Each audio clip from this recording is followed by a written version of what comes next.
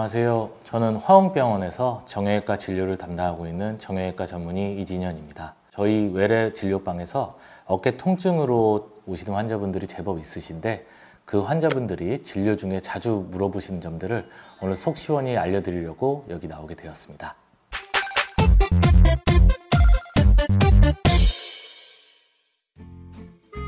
회전근개란 무엇인가요? 회전근개란 어깨를 회전시키는 근육의 그룹을 뜻합니다. 정확히는 근육 자체가 아니라 근육이 힘줄화돼서 상완골, 정확히 상완골두에 붙게 되는데요. 하지만 의사나 환자나 저도 그렇고 모두 표현할 때 근육, 힘줄, 건 등으로 이제 여러 표현을 쓰게 됩니다. 하지만 인대라고 보통 알고 오시는 경우들이 많은데 인대라고 하는 건 아예 다른 부분을 지칭하는 거기에 틀린 표현입니다. 회전근개는 어깨를 감싸고 있는 네 가지의 근육 또는 힘줄로 이루어져 있는데 이 근육들은 이제 앞에 하나, 위에 하나, 그리고 뒤에 두 개가 붙게 되고요. 상완골의 골두 부분을 핸들 잡듯이 이렇게 균형 잡혀서 잡고 있게 됩니다. 그래서 이제 이 핵심이 이 근육 간의 균형인데요. 어찌됐든 간에 이 균형을 정확하게 잘 맞춰주면 어깨 통증이 없어지게 되는 게 어깨 문제에 있어서 가장 핵심이라고 볼 수 있겠습니다. 회전근개 무조건 수술해야 할까요? 아, 무조건 수술은 아니죠. 어깨 수술을 결정하게 되는 것은 파열도 중요하긴 한데 실질적으로 그 파열의 크기와 환자분들의 상태 그리고 나이, 직업 등과 같은 다양하고 면밀한 면담을 통해서 꼭 필요한 경우에만 수술이 결정이 되게 됩니다. 회전근개에서 가장 중요한 부분은 균형인데요. 이 균형을 잘 맞추면 통증 없이 쓰실 수 있는데 회전근개가 한쪽이 파열이 되는 경우에는 현실적으로 비수술적으로 균형을 맞추기가 굉장히 어렵게 됩니다. 그때 사실 수술적 치료가 큰 도움이 될 수 있다고 할 수 있겠습니다. 어깨를 다쳤는데 꼭 MRI를 찍어야 할까요? 어, 결론부터 말씀드리면 확실히 찍으면 도움이 됩니다. 도움이 되는데 어, 무조건은 아니고 사실 어깨 질환, 어깨 치료의 가장 첫 시작점이 되는 건 정확한 진단입니다.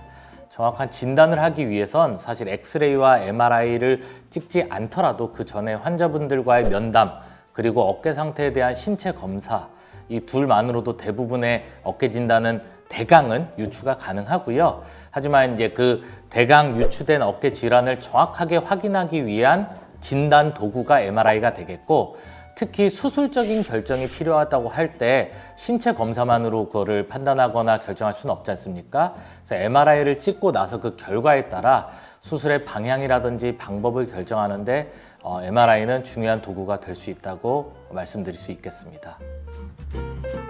어깨가 아플 때 꼭 주사를 맞아야 할까요? 환자분들이 이제 어깨 주사에 대해서도 많이 여쭤보시고 또 이미 제 외래에 오시기 전에 어깨 주사를 이미 많이 맞고 오시곤 하시는데요.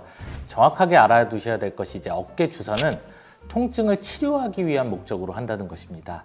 그렇기 때문에 어깨 주사를 맞는다고 해서 찢어진 회전근개가 다시 다가와서 재부착되거나 그러기에는 조금 어려운 부분들이 있지요. 사실은 그렇다면 은 주사를 맞아서 힘줄이 다시 재봉합이 될 것 같으면 누가 수술을 하겠습니까? 수술은 꼭 필요한 경우에 그런 경우에 저희가 인위적으로 찢어진 힘줄을 재부착할 때 쓰는 거고요. 어깨 통증을 조절할 수 있는 방법에는 주사뿐만 아니라 약물 치료라든지 물리 치료, 도수 치료 등이 있는데 그 여러 가지 치료 중에 하나가 주사 치료일 뿐입니다. 아, 물론 이런 통증을 조절할 수 있는 치료 방법들을 통해서 통증을 조절한 뒤에 회전근개 어깨 근육의 균형을 잡아주는 운동을 함으로써 어, 어깨 근육의 균형이 맞춰진다면 통증 없이 어깨를 어, 사용하실 수 있게 되는 겁니다. 오십견과 회전근개의 차이는 무엇인가요?